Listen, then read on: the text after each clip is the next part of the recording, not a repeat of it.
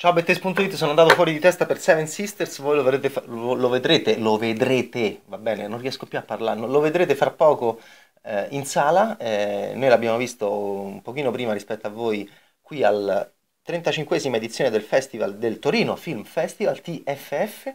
Seven Sisters è un film di fantascienza eh, strepitoso, mh, mm, Raffaella De Laurentiis eh, in produzione, Giannetto De Rossi in make-up, Giannetto De Rossi mitico per gli horror di Fulci, Zombie 2, e Tommy Wirkola con gli zombie c'ha qualcosa a che fa. Il regista eh, norvegese, classe 1979, mi sta simpaticissimo Tommy, è una specie di piccolo Terry Gilliam, è una specie di piccolo Sam Raimi in lui, e infatti è bello che abbia incontrato Giannetto De Rossi, come fu bello che incontrò Giannetto De Rossi un giovanissimo Alexandra Aja per lo splendido Alta Tensione con Cécile de France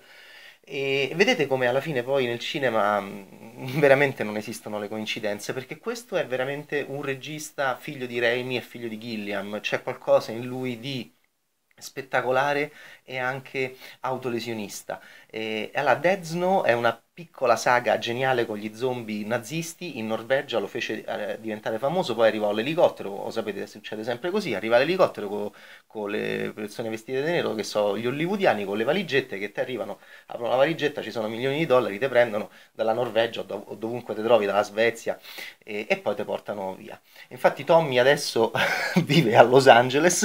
e, e Wirkola eh, è fighissimo perché dopo aver fatto questa saga mh, di grande successo in Norvegia che ha portato appunto il, le, le, le, Hollywood a, a, succhiarlo, poi ha fatto un Ansel e Gretel bruttissimo, ma un Ansel e Gretel bruttissimo come l'avrebbe potuto fare bruttissimo Raimi, Gilliam, comunque con una grande simpatia, con Jeremy Renner e Gemma Arterton, un film che comunque a livello mondiale ha fatto qualcosa. Quindi Tommy è ancora vivo e combatte con noi. E questo film è una follia, va bene? Si chiama uh, What Happened to Monday in originale Seven Sisters, perché What Happened to Monday, ma che lo puoi intitolare così per il mercato italiano, Seven Sisters per il mercato italiano, lo, lo, esce in sala adesso, noi l'abbiamo visto qui a Torino, in anteprima italiana, è divertentissimo, c'è Numi Rapace, io preferisco chiamarla Rapace perché in questo film la grande Numi è proprio rapace, se lo prende, se lo magna e se lo porta a casa, perché? Perché lei è sette donne, va bene? A me già mi piacciono i film con Numi Rapace quando è da sola, se tu mi dai un film con sette Numi Rapace, beh io vado fuori di testa, io per questa attrice provo proprio un'attrazione intellettuale, fisica, mm, eh, spirituale, mm, è l'unica, l'unica Lisbeth Salander della storia del cinema, eh, va bene, quell'altra eh, se la scorda, eh, Runei Mara con tutto il rispetto se la scorda, e quindi eh, è diventata una star, come sapete, questa attrice svedese con Uomini che odiano le donne, originale, bellissimo, splendido film. E beh, eh, poi lo sapete, ha fatto anche, eh, ha lavorato, ha, ha lavorato negli Stati Uniti d'America con alterne fortune eh, ha lavorato per Ridley Scott dentro Prometheus.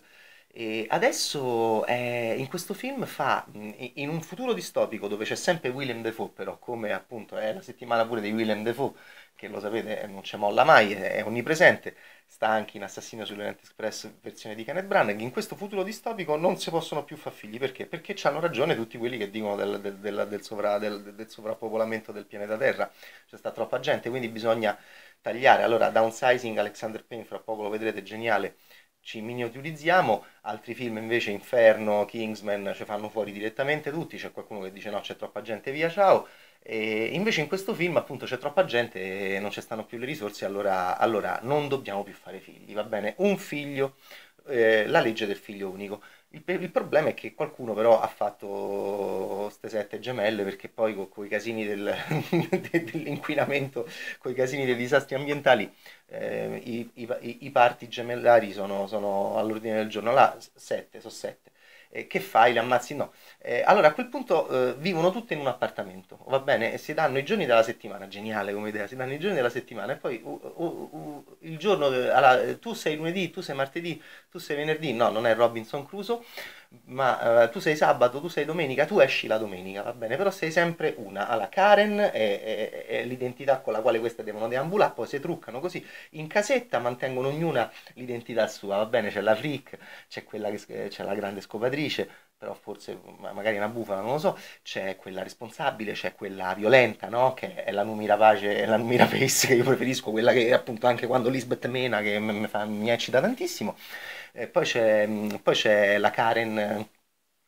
la Karen studiosa, insomma, eh, allora, se vi piace questa attrice, come piace un pochino a me, se non so se si è capito, è il film per voi, perché ci sono sette numi, sette numi, i numi tutelari.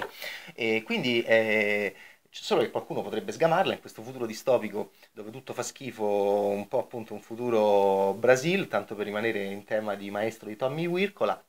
e qualcuno potrebbe scoprirla e, e che succede? Allora, è un film pieno di liquidi, infatti sembra un film veramente degli anni Ottanta, e da qui vediamo Tommy da dove viene, c'è Giannetto De Rossi nel make-up, nel trucco, e si sente appunto questa, questa, questa, questa, questa cosa che appunto non c'è nel, nel, nel cinema secco e arido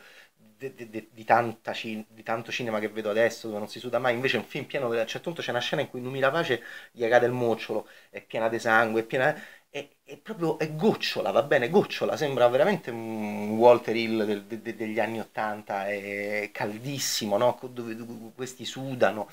eh, c'è acqua ovunque è un film molto liquido a me piacciono i film così eh, perché mi ricordano di quando ero giovane e vedevo, vedevo un altro cinema rispetto a quello di oggi tutto asettico e represso, e invece è un film molto libero, ok? Infatti c'è sesso e c'è anche,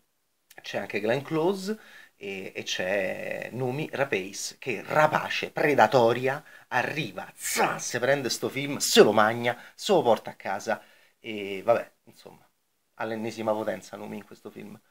veramente, veramente, veramente, veramente fico. Ci sono dei difetti, ma è, è quello squilibrio come Gilliam, come Raimi che va sempre bene, almeno per me. Ok? Seven Sisters, fantascienza distopica, sette numi, rapace. Ciao, Betteist.